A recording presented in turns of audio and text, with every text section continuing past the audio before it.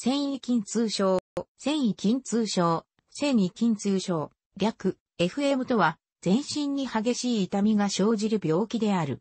英語では、症候群であることを表現して、ファイブローミルジャシンドローム、略 FMS とも記される。原因不明の全身の疼痛を主症状とする。疼痛は、腱付着部炎や筋肉、関節などに及び、体幹や四肢から身体全体に激しい疼痛が広がる。進行疾患ではなく、以前は、非関節性、リウマチ、心因性、リウマチ、南部組織性リウマチ、結合組織炎、結合組織炎症候群などと呼ばれていた。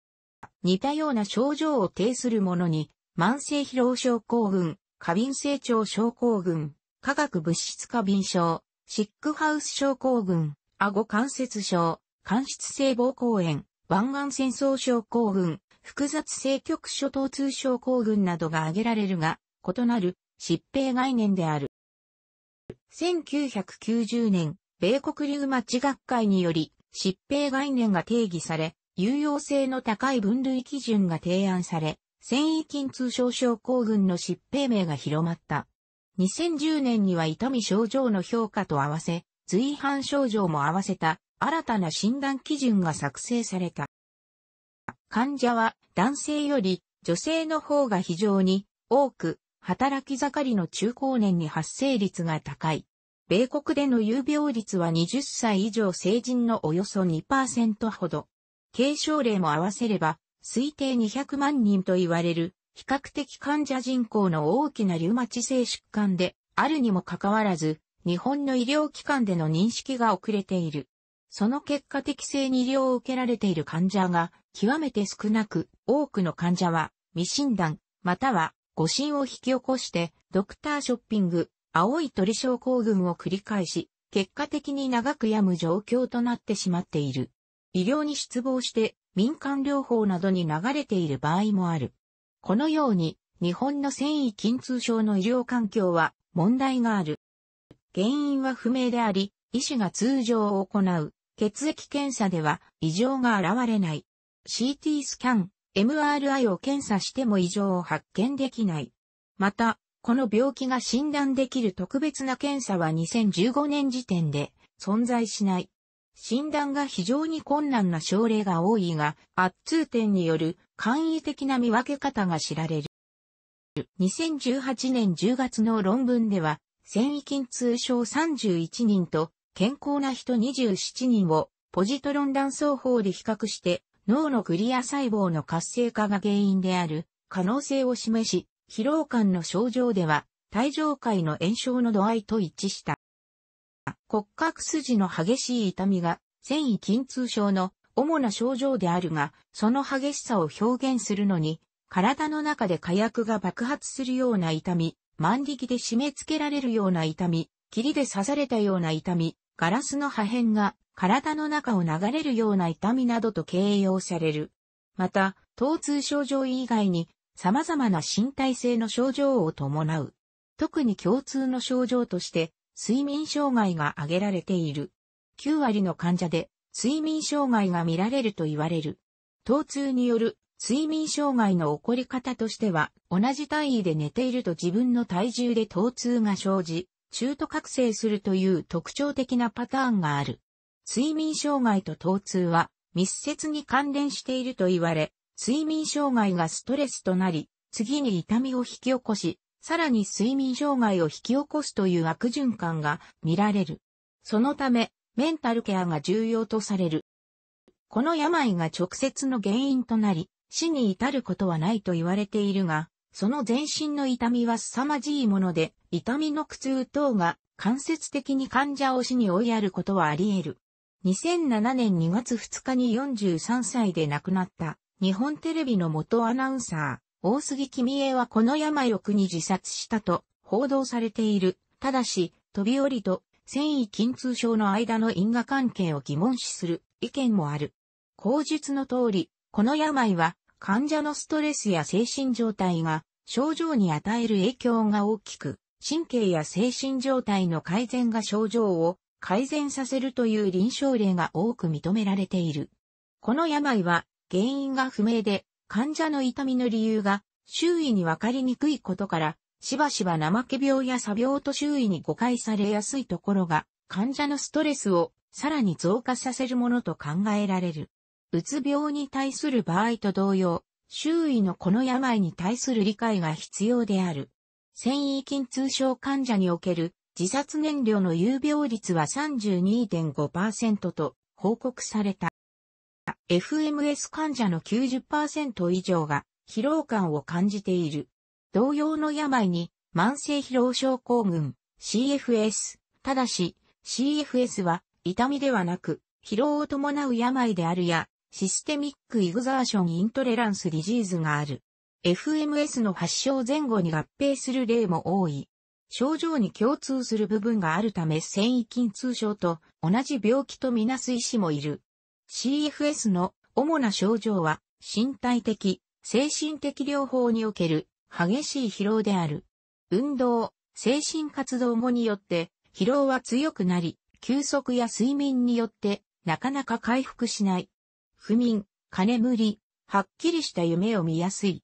疲労の程度は何とか働ける程度から寝返りも打てないほど重症の患者もいる。睡眠障害と並んで打つ状態の症例が多い。FMS 患者のおおよそ30%が大うつ病とも診断される。人間関係のストレスの集積、離婚や近親者との死別などが疼痛発症のトリガーである場合はなおさらである。精神科領域で原因不明の慢性疼痛を身体表現性障害の範疇に含んで診断することも不利に働き、誤診や未診断の原因となっている。多くの場合は、精神症状は、疼痛の緩和とともに改善される。これは、痛みが繊維筋痛症の主因であり、精神症状が主因ではないことを意味する。ムズムズ圧症候群を70.7%の患者で併発し、そのうち約20%が重症であった。発症要因としては、外的要因と内的要因に分けて分析されている。厚生労働省の研究班による全国疫学調査では、2003年に繊維筋痛症の診断で受診した患者数は2600名、日本リウマ財団登録医への受診患者数3900名であり、欧米と比較して診断されている患者が著しく少ない。さらに住民調査が行われ、その結果人口あたりの有病率は大都市部2.2%、地方部1.2%、全体として1.7%であった。欧米の約2%の有病率に近い。詳しく調査すると、有病率が上がる理由は、認知度が低いために未診断や誤診が非常に多いものと推測される。2009年に再度日本流町財団登録医への受診患者数調査が行われ、1万1000人であったことから、診断率は少し向上している。リウマチが繊維筋痛症の診療を避けているとも述べられる。欧米の報告では女、男イコール8から9、1である。日本では4.8、1と男性比率が高いが、理由は不明とされる。平均年齢は51.5歳である。年齢分布は広く4.8%が小児科年齢であった。推定の発症年齢は平均43.8歳とされる。家族内発生について家族歴は4.1%であった。確定診断がなされるまでに発症から平均4.3年かかっているが、半数は1年以内に診断されていた。確定診断まで平均3.9件の診療科を受診しており、いわゆるドクターショッピングの現状が存在する。中には診断なく医療から見放されている例も少なからずあるとされる。リウマチ性疾患をはじめとした疾患を原病として随伴することが多い。繊維筋痛症単独で発症するものを一次性、別の疾患に随伴するものを二次性と分類されたこともあったが、現在では区別しない。繊維筋痛症単独と随伴する症例の比は3、1である。原病としては、関節リウマチが最も多い。クラスター分析が提案されて、筋緊張更新型、うつ型、筋付着部炎型、混合型の4つに分類され、このうち筋緊張更新型が35%を占めて最多である。議論も参照のこと。筋緊張更新型の一部の症例に VGKC 自己抗体が確認されている。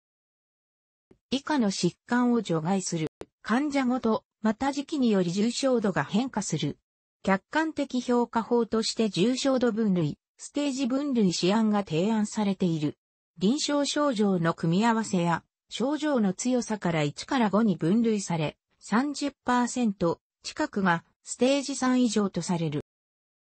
1990年に米国リウマチ学会が作成した分類基準である。以降では ACR1990 と略記する。この古い基準に対して批判が多くあるが、国際的に広く用いられている分類基準である。診療の場では分類基準を満たさない症例が存在し、分類基準を満たさない症例を繊維筋痛症から除外すための基準ではないとも述べられている。日本の症例に対して ACR1990 がどのぐらい有用であるか検証がなされ、その結果、診断感度は75.9%、診断得意度は97.4%、有用度は86.9%が得られ、優れた診断基準であることが検証された。ACR1990 では、いわゆる二次性の線に筋痛症であって随伴して発症する場合も病形に関係なく繊維筋痛症と診断すべきことを意味している。以下の3項目で構成される。この3項目を満たす場合に繊維筋痛症と診断できるものとする。以降では ACR2010 と略記するが、ここで扱うには複雑すぎるため示しているのは概要のみである。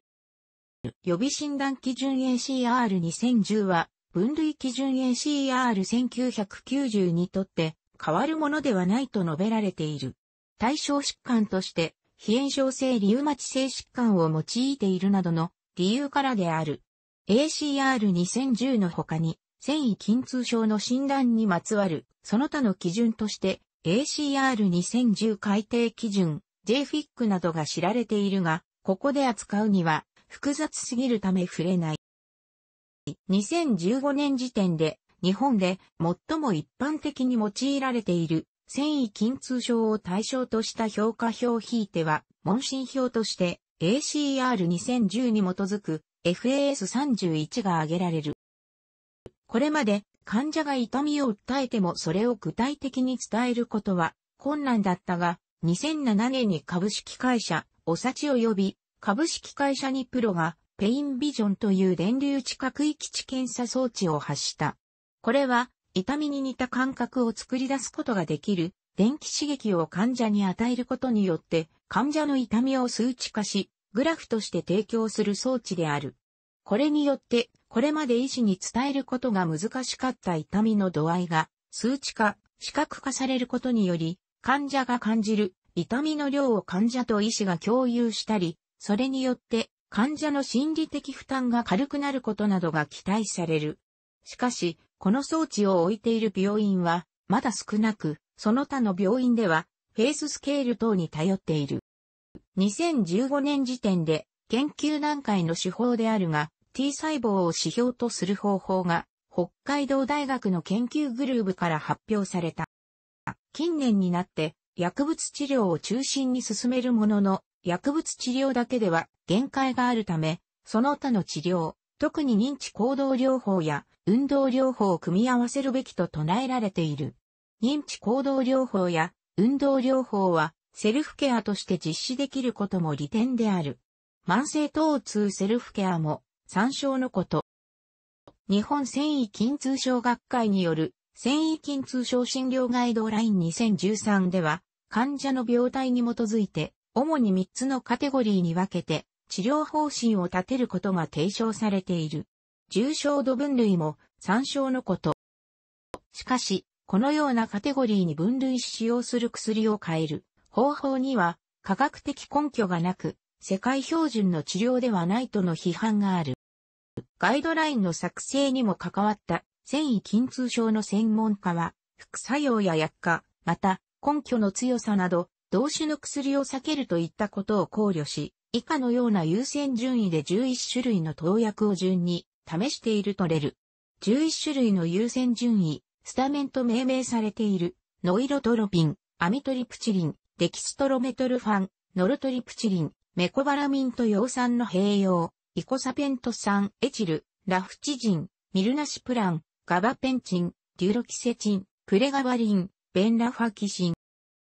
オピオイドを使用するかどうかについても方向性が分かれている。専門家による試案によれば、最後の選択薬としてトラマドール、またはトラムセットを用いる。しかしながら、2014年にはアメリカ神経学会がオピオイドによる死亡増加から声明を出しており、繊維筋痛症などのがん以外の慢性疼痛状態では、オピオイド系薬剤使用の利益を危険性がはるかに上回るとした。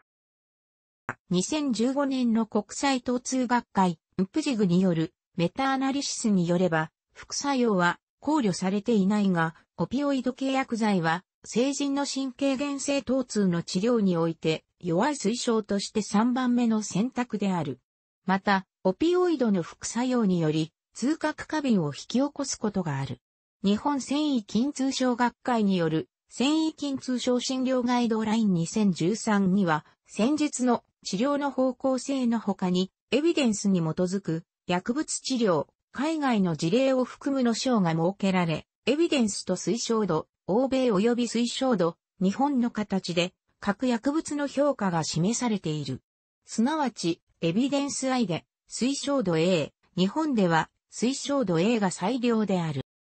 日本の状況においては、プレガバリンが2012年に筋繊維通常に伴う疼痛の治療薬として日本では初めて承認された。ついで2015年でユロキセチンが保険適用となった。エビデンスに基づくガイドラインによると第一選択薬はプレガバリン、デュロキセチン、アミトリプチリンなどとなる。そのガイドラインによれば以下のようになる。各薬物の最適量を患者ごとに慎重に決定することが求められる。各薬物の処方量を副作用と鎮痛効果を見ながら上限まで全増する。当初は有効でも1年以上経過すると、中止しても痛みはしばしば悪化しないため、減量や中止を試みる努力が必要である。抗うつ薬の鎮痛効果は、抗うつ効果とは独立している。痛みによる不眠に対しては、睡眠薬ではなく鎮痛薬が優先される。認知行動療法や関連する心理療法、行動療法によって繊維筋痛症の症状をいくらか緩和することができる。最大の利点は運動療法と組み合わせて CBT を実施できることである。1119症例のメタアナリシスの結果、組み合わせ治療は繊維筋痛症のキーとなる症状において短期的な改善の効果を有するという強いエビデンスが示された。2010年に14の研究のシステマティックレビューが報告され、CBT は自己効力感や痛みに対する対処を改善したり、治療後の通院回数を減らすことが報告されたが、痛み、疲労、睡眠、健康状態の改善に優位な効果がないことも報告された。うつ状態もまた改善されるが、これはバイアスを含む危険性から区別しきれていない可能性がある。CBET を含む学際的なアプローチが多く用いられ、繊維筋痛症といった慢性疼痛症候群のゴールドスタンダードと考えられている。否定的な思考やストレスの多い生活環境は痛みに影響し、慢性疼痛との関連がよく見られ、瞑想法、リラクゼーション法、注意転換法などが痛みを軽減することに役立つと言われる。繊維筋痛症の患者によっては、運動療法によって健康や睡眠を改善し、痛みや疲労を減らすことができる。特に何割かの患者に対して有酸素運動が有効であるとの強いエビデンスが示されている。長期間の水中運動もまた抵抗性のトレーニングを有酸素運動に組み合わせているという意味で有効であると証明された。筋肉と関節は毎日動かしてストレッチする必要があり、心臓や肺が十分な機能を保つためにも運動が必要である。慢性疼痛患者に対しては SMAR、T ゴールと呼ばれる運動管理の方法が提唱されている。スペシフィックイコール明確であり、メジャーブルイコール測定でき、アッチバブルイコール達成可能であり、リアリスティックイコール現実的であり、タイムフレームイコール期限を定めるとされる。このゴールを設定して、細かくペース配分を調整する。慢性疼痛患者では、自己判断によるペース配分のスキルが運動の成否を分けるとも言われる。体をよく動かすようになった場合は、痛みが悪化した場合の静養、調整の計画もまた立てておく必要がある。これらの前提に立てば、痛みがあるからといって、動かないというのは最悪の選択であると言われる。ただし、自己判断で行うことができなかったり、無理をするというのは前提に反しているので、ほどほどを心がけるのが重要とされる。繊維筋痛症の患者の多くが、もともと完璧主義で努力家だけに、やりすぎは禁物とも言われる。具体的なメニューとして、散歩、太極拳、できる範囲のラジオ体操、テレビ体操、ごく軽いヨガなどが提案されている。なお、散歩は水中訓練から始める程度が望ましく、歩行が不可能な患者では、ガムを大きく噛んだり、深呼吸をするといった足腰に負担のないリズム運動が提案されている。繊維筋痛症は顎関節症を併発することが多い。繊維筋痛症の治療を謳っている一部の歯科もある。歯列矯正や歯を削ったりして、噛み合わせや顎の位置を大きく変える治療方法で、これらの治療が合わなかった患者にとっては、元の状態に戻すことができない侵害性が強くストレスの大きい治療のため治療を受ける場合は十分な注意が必要である。慢性疼痛患者の症状の重症度と顎の痛みの間には相関関係があるために、顎の痛みの治療は繊維筋痛症の治療の有用かもしれない。しかし、顎の痛みの治療は安全性の観点から初期治療として高校スプリントが推奨され、交互調整、歯列矯正は推奨されていない。繊維筋痛症患者は特に刺激に過敏である場合が多く、噛み合わせに手をつけない方が望ましいとする意見もある。また、高校スプリントのみで、繊維筋痛症の症状をコントロールできたとする報告ある。このように、一般的な歯科治療とは異なった、繊維筋痛症や慢性疼痛といった身体状態の治療に専門化した歯科治療が行われている。ストレッチ、腹式呼吸といったリラクセーション、鍼灸といった統合医療、健康的な睡眠の確保といった方法も有効である。慢性疼痛セルフケアも参照のこと。喫煙は症状を強めるため、禁煙が推奨されている。慢性疾患として繊維筋痛症は長期にわたって持続し、回復が困難である。発症から1から2年は安定した状態で経過し、回復、警戒するとされている。その後は必ずしも良くない。1年経過で、治癒わずか1.5%、51.9%が改善が見られ、37.2%は病状に変化なく経過し、2.6%が悪化であった。症例の多くで発症時から変化が少ない。小児例では回復も見られるとされる。入院の頻度は1年間で13.5%と述べられている。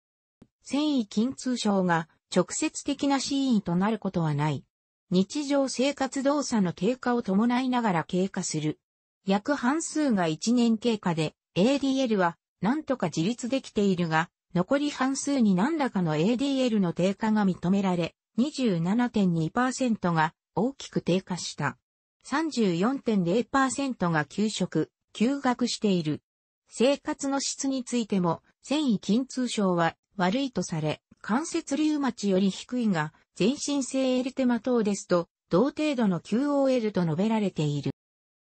引きこもり、不登校の児童にこの疾患が多く診断されたため、今後調査を進めていくと、若年性繊維筋痛症患者の実数はさらに多いことが判明するのではないかと推測されている。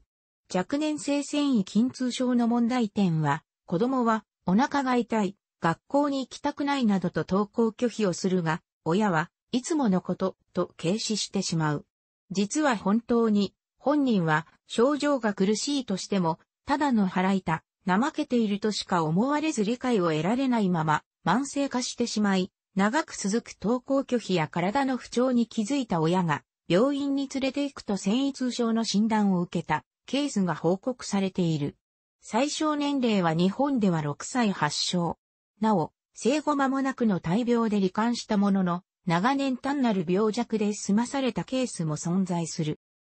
2013年7月16日に若年性胃筋通症発生の原因がコエンザイム90の欠乏にあることが東京工科大学応用生物学部と横浜市立大学医学部小児科との研究チームにより発見されたと報じられた。なお、発症パターンの違いから若年性繊維筋痛症と若年発症の成人型の繊維筋痛症は区別される傾向にある。